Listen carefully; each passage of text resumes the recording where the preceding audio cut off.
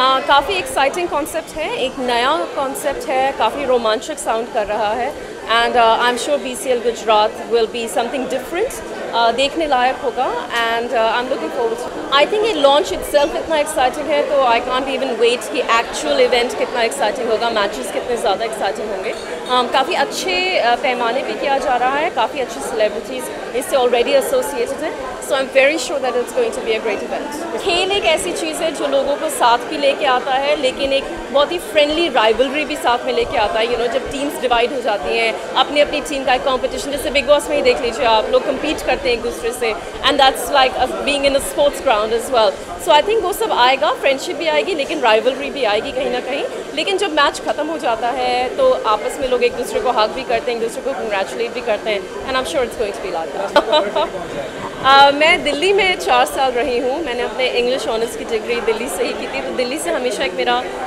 Connection uh, रहा है। लेकिन uh, बाकी लाइक बॉम्बे में अब मैं हूँ right now this is my bread and butter and Gujarat भी जा सकती हूँ so